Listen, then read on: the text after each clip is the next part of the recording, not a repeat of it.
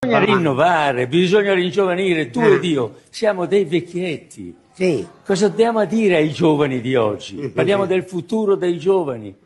Eh, abbiamo un piede nella tomba, tu quale hai? Ah, oh. sinistro? de- Io l'altro giorno ho incontrato un mille piedi nel mio giardino, aveva 500 piedi nella tomba, mi ha guardato male e gli ho detto taci, io ne ho uno, tu ne hai 500, quindi state zitto. Era venuto ad Arcore a te chi Era venuto mandato? ad Arcore per me.